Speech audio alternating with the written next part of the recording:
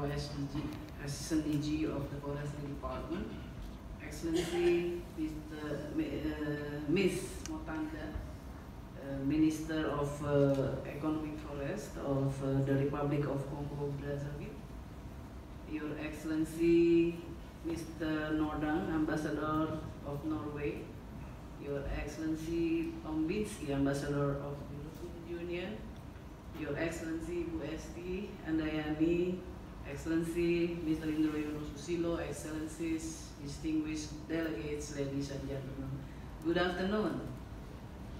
First of all, let me and the government of Indonesia extend our sincere appreciation to FAO for continuing the 24th session of COFO and the 6th World Forest Week, including this event.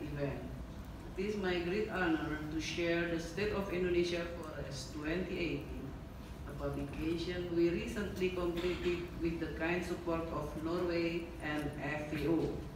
It reflects new paradigm in the management of forest resources in Indonesia.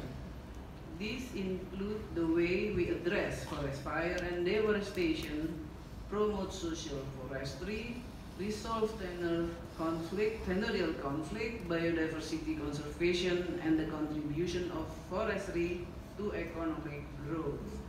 Excellencies, ladies and gentlemen, in this graph, nine key problems in forestry sector in our country are described, such as forest fire and haze, deforestation and forest degradation, and tenurial conflict, and so forth. We set up approach to address th those problems.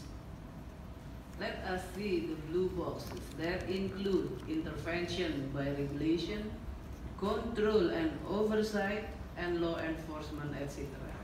We then develop policy instruments to ensure that these approaches can be implemented effectively comprising agrarian reform and social forestry, peatland management, and linking those approaches to SDGs. As you can see, we have made the linkages, the linkages with nine SDGs. To make it measurable, indicators are formulated to assess the successfulness of those efforts. We recognize the three main indicators. Reduce greenhouse gases emissions, emissions more equitable landholding and business configuration of private concession and smallholders or village concession of forest, and of course, there should be an appropriate system and technology uh, developed.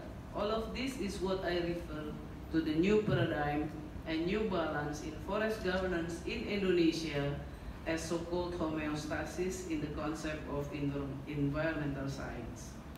Excellent.